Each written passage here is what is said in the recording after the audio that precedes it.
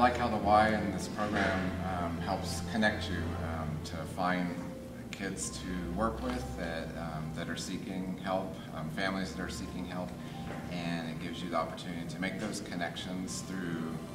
somebody that they've checked out the families and things like that too, and checked out the mentors so that it's a good match. It's fun to be able to go out and to show Kevin just different things and that he can be himself and that he can um, learn to be all that, that God's made him to be too because um, sometimes you don't get that encouragement or sometimes you don't have anybody to, to tell you those things. And a lot of times people say I don't have time to do this or that, but um, I just want to encourage people that it's, it's very um, um, worth the time because um, when you sacrifice and give time to somebody else and you see, see that they're growing and learning, um, that you're blessed in many different ways.